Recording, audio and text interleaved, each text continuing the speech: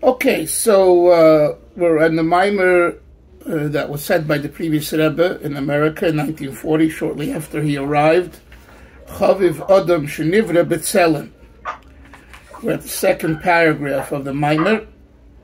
And the last idea that he explained and how it's related to the the maamar is that when the Mishnah says, it's a Mishnah in Pirkei Avos, Chaviv Adam Shenivra B'Tselem, beloved this man who was created in the image, and after that it says, Chiba Noidas Loi, extra special love is known to him that, that was created in the image. Seemingly it's superfluous, it's repetitious. The Rebbe explains, no, it's not. One refers to man in general, Adam in general, and one refers to Israel, the Jew. And once he mentions Adam, once he mentions man, he then go, explains the whole idea of a name. And as we'll see in today's chapter that will begin, how the flow continues. And uh, what he said yesterday is that there are four versions to a person's name the Shem HaEtzem, the Shem HaToar, the Shem HaPa'ula, and the Shem HaKinui. The essential name, the, the name of the person, that is the person, that is the mode, the vessel, the instrument that draws the vitality of godliness into the person. And as I mentioned yesterday, the importance of calling someone by their Jewish name, because that brings life to them in all situations, and therefore it's important to use the name. Parenthetically, I remind myself a friend who already passed on may have a uh, illuminated paradise, Gan Eden, he, uh, he, he stopped the Rebbe once and he said, My sister doesn't have a Jewish name. And the Rebbe turned to him and the Rebbe said, What's your sister's name? How is she called now? Karen. The Rebbe turned back to him, So let her be called, what? Let her be called Karen. What? Yeah, Karen is a Karen or. I'm just telling you, uh, a Maisa Shahoya, this is in Brooklyn in the 1980s. You know, it's not Eretz Yisrael. And the Rebbe, uh, right on the spot, said, let her be called Keren. The idea of a Jewish name is a very, very important thing, and it has an impact on a person's life, present, past, present, and the future. Anyway, so that's called Shem HaTohar. The next thing is shame. I'm sorry, that's called Shem HaEtzem. The next thing is Shem HaToar. Torah means like an image. What do you mean? What does that mean? In other words, uh, is the person a, a, a, large person, a small person, a description? Okay, let's use a better word. A descriptive name. It's not the actual name of the person, but it's a description of the person. Then comes point number three, the shame um, shame ha'pu'ula. Shame ha'pu'ula is what does the person do? Are they a doctor? Are they a lawyer? Are they a taxi driver? Are they a rabbi? Are they a, a, a rebbe? What do they do? That's Shem HaToya, uh, Shem Ha, Shem Ha Pu'ula. And finally, the fourth is Shem HaKinu, a nickname.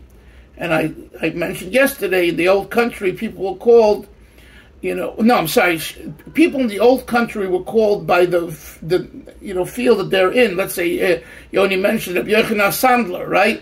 He was a, a, a shoemaker. So it's called Rabbi Yochanan Sandler. So would that be Shem Hakinui or shame a nickname? Would that be considered a nickname or would that be Shem HaPa'ula, a name after his activity? I would think you could say that's called Shem HaPa'ula, not Shem HaKinui.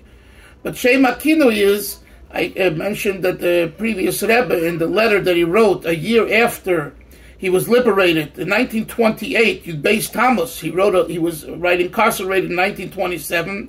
He was miraculously on Yud Beis Tammuz. He was miraculously saved. His life was spared, and he was let go. And uh, what what what was the um, the year later? He wrote a letter. He wrote a letter. I'm, I'm teaching now.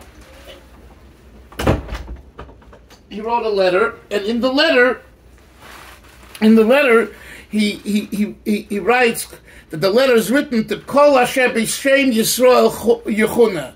The letter is written to every single Jew, regardless of who the Jew is. It's written to them. Um, it's written to them as long as they are called a Jew. That's Shem Akinui. It's not their name. It's not their description. It's not their. It's not their activity. Ish Yehudi. I'm not focusing on the Yehu, on the Ish part now, Isser. We're talking about the Yehudi part. Ish Yehudi. Who are you, Yehudi? Yehudi. Shem Akinui. Now let's go to chapter 2 and see how he continues. Vihine. Isa bezoyar it says in Zohar, the Ba'ar B'Shemes Nikra Min Hamadaber. The Holy Zohar, the Zohar HaKodesh says that there are four different synonyms to a to to the to the to to man to a human being how we say it, how we call it in Hebrew Adam Adam Ish man Gever man Enosh man it's four different words to the same idea. Well, at least it seems that way. The Adam comes along, Chassidus, and says that they aren't four exact same. They, uh, in Hebrew, they all refer to a human being, but they really imply something different about the about a person, a different aspect of a person. The Adam hulamaila mikulam, Adam, the name Adam, is above all the others. The last name, the Enosh, the name for a human being that's called Enosh, Lemata Makulam, is below all the others. With this we can understand that the angels al Adam. They complained to Hashem and they said, Why are you creating man? Kis What did they say? Uh, what is man that you remember him? Vikaro tiskireno. Stop. They say to Hashem, what? What do you need these human beings? They're a waste. Why do you bring them to the to your mind? So this is the end of the of the phrase. Mo'enish kisis kirenu. Right? Avram, do you recall when we say this phrase? Uh, Isser? It's a pasuk in Tehillim. Correct. And when do we say it? I'm testing your memory, so you said you had a great memory. Don't have a good memory. I'm being sarcastic. Go ahead. Anyway, be guessing. It's no, it's uh, it's one of the ten verses on Rosh Hashanah in the Musaf. We say ten verses of Zichrainis, right? Ten verses of Malchios, ten verses of Shofrais, ten verses of Zichrainis. One of the verses is this verse, Mo'enish kisiskedenu. Because knows we, we choose verses where Hashem is identified with zikaron, with memory. Okay. Vikaro b'shem enosh. This the Rebbe is saying, the previous Rebbe is now. And in this verse in Tehillim, man is called enosh, lahoirois, ala al ha kaitin v'shiflus hamahus, to denote his disgracefulness or his low um, essence, meaning to say, this is man as man is not in a favorable way. This is the worst of man. When you use the word enosh, you're identifying with the worst aspect of, of man when a man behaves that way. And and what are we saying to Hashem? He doesn't say it here, but on, on Rosh Hashanah in, in, in Musaf, we're saying Hashem, Remember this man too, because you created this man. So if you didn't want to make such a man, don't create him. And if you did create him, remember him for the good. Okay? But that's But the word Enosh, the, the previous Rebbe, it brings this verse to teach us that the word Enosh, which means human being, refers to the lowest aspect of man. And Adam, the first of the four names, refers to the highest aspect of man. And he says, Kishem Enosh Meira ala Chalishus. Because the word, and the name Enosh denotes weakness, chalash, weakness. Ukamesh Kosov, it says, Okev Halev Mikoil ve'Enosh Hu. The heart is like twisted of everything and and he's and, and he's weak. Ve'enoshu. So in that verse, clearly the word ve'enosh implies weakness. The pirush enosh, what is the meaning of enosh? Chalosh, weak.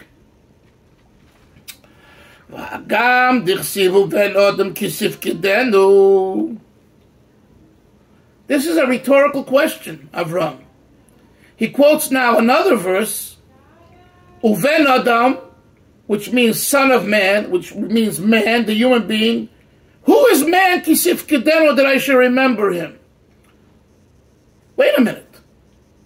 What's the implication of this verse? That man is worthless.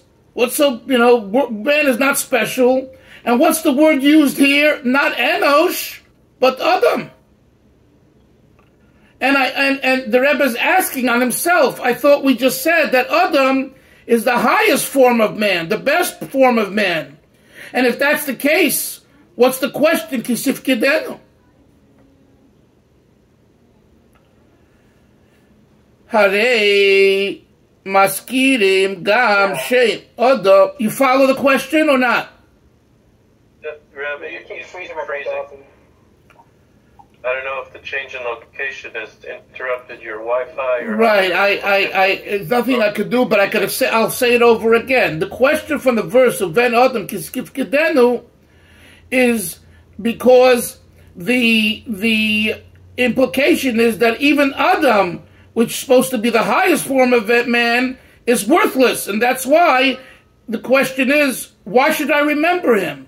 So the Rebbe's asking a rhetorical question on himself. I just told you that Adam is the highest, and Adam would be a virtue. And if Adam is a virtue, that's why it's worth mentioning. And the and the verse questions why do we mention Adam?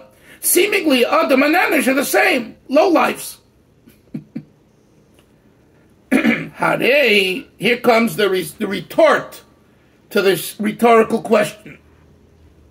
הרי מזכירים גם שם אדם בזלזל ושפלוס. The Rebbe's answer is, there are times when the word Adam is also referred to when we're talking about someone who is disgraceful and embarrassing. In other words, overall, it's true that Adam is, when you're comparing all four to each other, Adam is the highest, the best. But if sometimes when you're not making that comparison and you use the word Adam in a verse and it's on its own, and the situation is a, a, not a good situation, whatever whatever context of the verse is, Adam is also used for disgrace. That's that's his response. No, it's it's not a contradiction to what the four names are.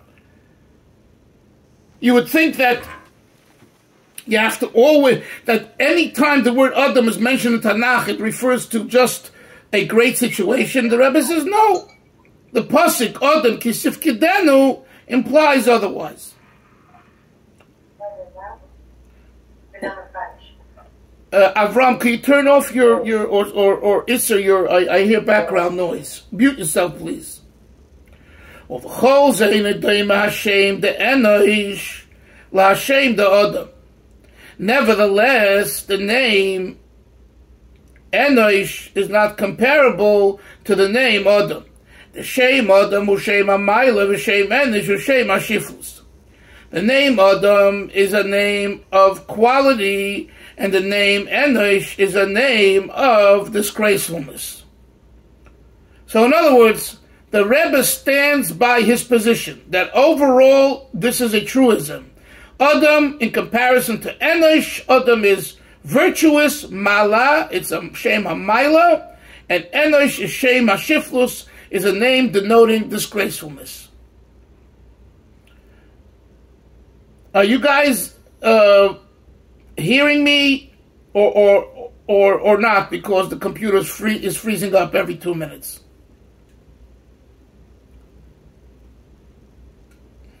Put on put on your mic. I want to hear you.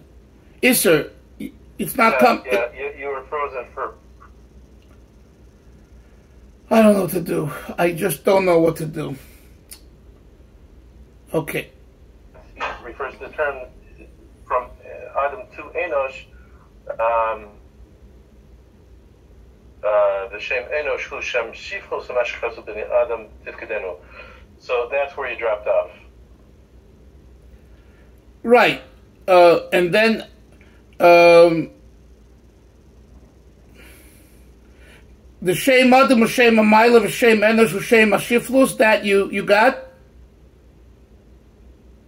Yeah. Okay, that's where we're at. Umashakosu v'ven Adam kisif kidenu. Regarding the verse where it says, and what is man? What is man worth? That he should be remembered, who kidemechalik b'toisus divra maskal kohanim, as Toisus makes the difference. Ba'avodah Zarah, in, in tractate Avodah Zarah, Daf Gimel Amad of page 3, folio 1, Ben Adam, ובין אדם, אוי בני אדם. The Adam הוא שם המיילה הוא שם ישראל, כמו שכוסף אדם אתם, אתם קרויים אדם. Taisus himself makes that difference, and he says there is Ben Adam and there is Bnei Adam. Ben means the son of man, Bnei Adam means the children of man, plural.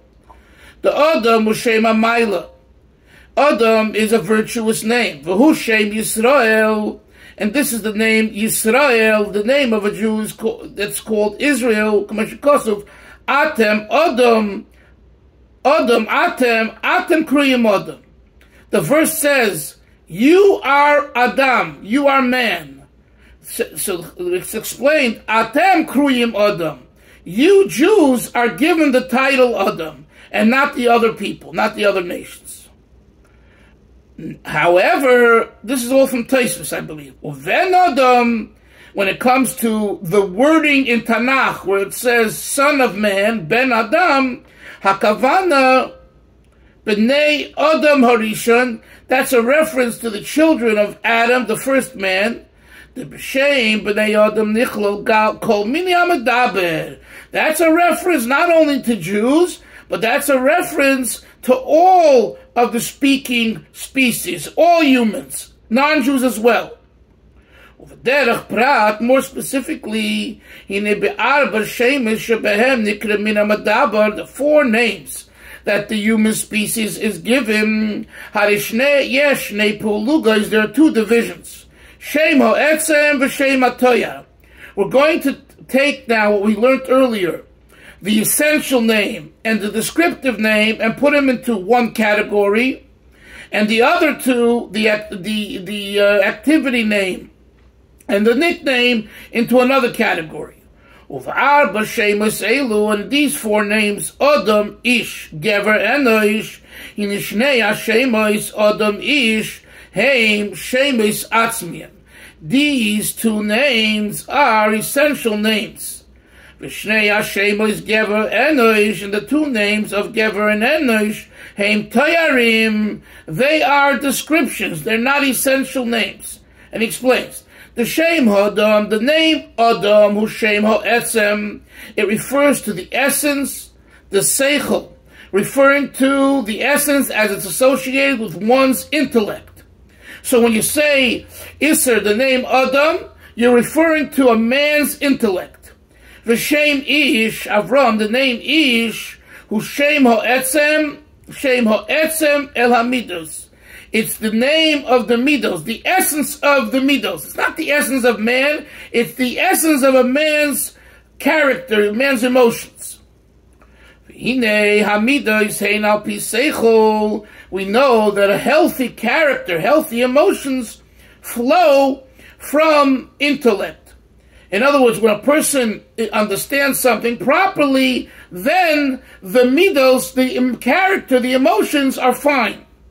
Or midos shall be midos that are based on logic and intellect, hein midos enushiyos, they are called human human emotions, sheheim Hamidaber, which are then incorporated in the virtue of man. In other words, unbridled midos without any intellectual, logical, rational guidance are not healthy and not considered a virtue for man. So when we talk about Ish, right, the name Ish, like Isser said, Ish Yehudi, but when we're talking about ish, we're talking about a healthy midah, a healthy emotion, which follows Adam, which is a healthy mind. And that's why the Rebbe says we'll put them in one category. So Adam and Ish are the two names of the human being, of the person, which are on the healthy um, scale. This is following the pattern. This is following the pattern of the spheres, where you have the intellectual, the Chabad, and then you have the lower emotional. Yes, it's a yes and no. I, I, I, I would say yes generally, but no, not specifically. In other words, if you mean that it's following the healthy Chabad over midos, you know, guiding midos, yes. But here he's, he's lumping together emotion, healthy emotions and healthy intellect on one side.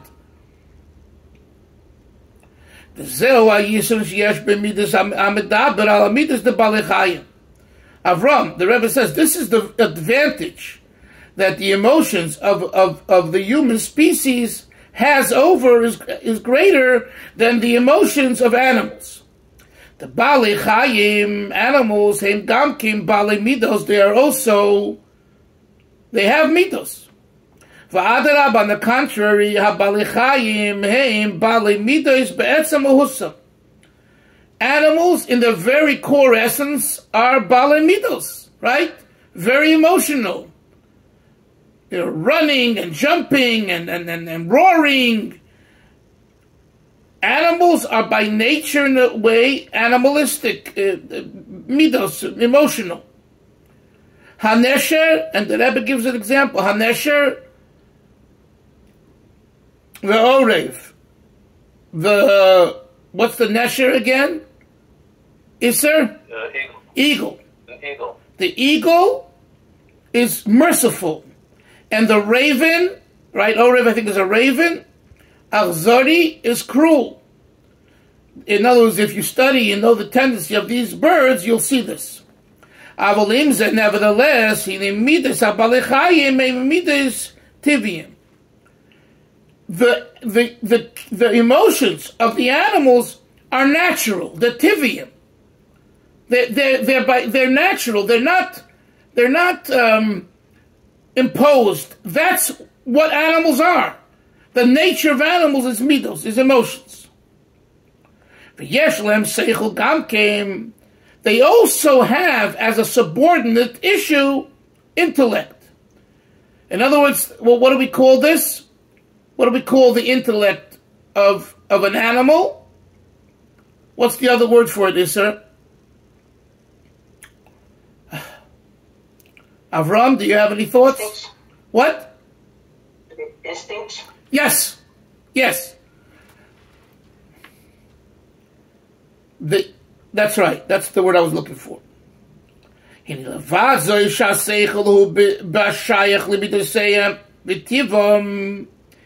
addition to the fact that the that the the the, the seichel, the logical in part that's there in the animal, is associated to their emotions and their nature in levadzos. Additionally, haresichlam hu the eh, das hanikne. Their logic is what we call acquired logic. In other words, they're guided by nature. And in order to justify the nature, they have some form of in- instincts, intellect, rationale, rationale. But it's all coming as a justification to their very natural self, which is emotional, emotional. Ukamesha Kosov, he quotes the verse that we say, we, it's the Tanakh, we say it in the Haftarah, I believe in Parshas uh, Nu, Shabbos uh, uh, Chazoin, when the Navi, the prophet, calls the Jew, scolds the Yidden to do tshuva, before Yom, Tisha B'Av, etc., we read it, Yoda Shoyer Koneu, the ox knows his master, Avos v'chamoir, and the donkey knows Avos Be'olav, the the um, the place that what is it called the the, tr- the trough the trough of its master.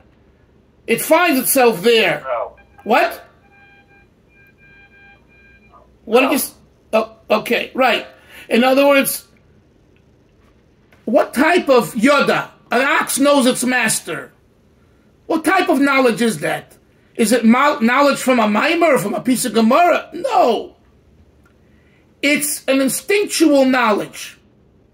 You give me food, I look at you. I behave. I smile. You don't give me food, I bite you. So we write a famous fable with the cat and the mouse. Train me to be a cat. Train me to be able to deliver the plate of food. The cat goes to the to the waiter. I want to deliver food. I'll train you. He trains the cat. The cat comes into the room. A mice comes along. A mouse comes along and runs, and the cat drops the food. But I thought you were trained until I saw a mouse. Why? Because Velvel, by by nature, the mouse, the, the, the cat is an animal. An animal's midos. A man, a, an, a, an animal's comfort zone is emotions. So as soon as something disturbs its emotions, it kicks back to its its its natural self, its emotions.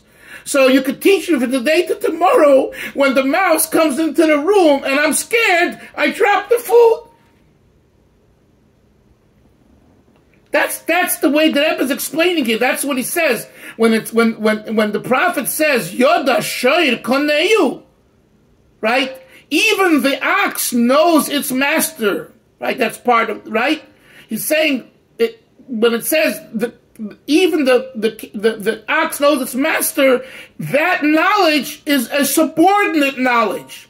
It's not the essence of an ox. Continuing. Harei yidiosam uh, v'hakarosam, the knowledge and recognition that animals have, it's only from the perspective of their nature. Why is that? Because since they are raktiviyim, that's who they are. Natural beings, emotional beings. What time is it now?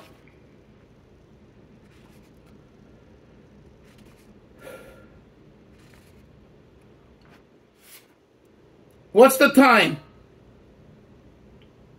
Hello? 315. Okay. 315. Yeah, I'm going to stop now, and um, I'm going to try Monday to go give the share from another location because um, you know we're having too much freezing issues. So, Chevra, it's a special day because we're alive and we're breathing and we're learning.